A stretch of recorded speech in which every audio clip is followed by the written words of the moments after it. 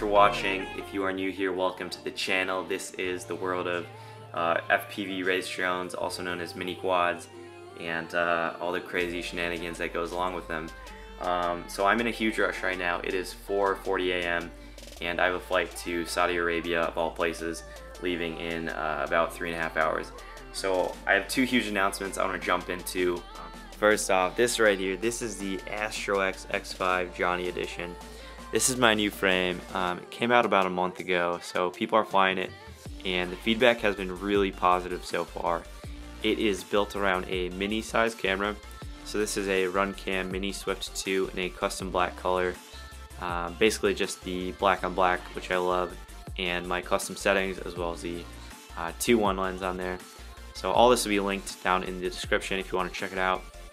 But this is mainly a freestyle frame uh, as well as a filming rig and you could race it super lightweight if you wanted a top mounted setup. Um, really, really, you know, blessed to be able to do this with the AstroX. It makes some of the highest quality frames in the world, probably the highest quality frames in the world.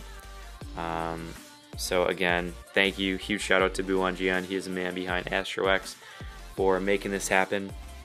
And uh, let's get to the motors. These guys are the V2s of my motors from Lumenier. We, uh, we added three different KV options. So we have the classic 2207, uh, 2700 KV, 4S monsters. These are 2207, 2400, mainly for 4S or 5S. Actually, most of the drifting footage in the video you just watched is from these guys on 5S.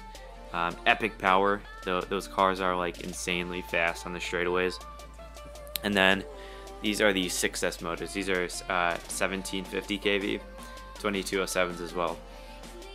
And I'm mainly going to be using these two right now, the 24s and the 27s, until I manage to get more 6S packs. Um, but they all fly insanely well. Same flight performance as the V1s, which, uh, you know, just ama amazing. They, they feel incredible in the air. You know if you've tried them. Um, now with the with the additional KVs. And also, before I forget and pass out because it's super late, bottomless, they have a set screw in the base to hold the shaft instead of the E-clip. So um, they actually run a little bit smoother in the long run now. Uh, previously with the E-clip, after a couple months of use, it could get loose and cause some play in the motor. So these are just all around a super solid upgrade. They're cheaper as well. Now they're $25.99. So big shout out to GetFPV for making that happen. And uh, really excited to see what you guys can do with them. Oh, last thing about these. These are pre-production motors. So the final production units, the colors are going to be slightly different shades. Uh, the blue is going to be darker and the red is going to be darker. I prefer the kind of like the, you know, the less in your face, low key look. Um, these are a little too vibrant for me, but uh, hope you guys like the darker color. I think, you know, They- They're super sexy. But uh, anyhow, thank you guys for watching. Hope you enjoyed the video. Um, and until next time, peace out.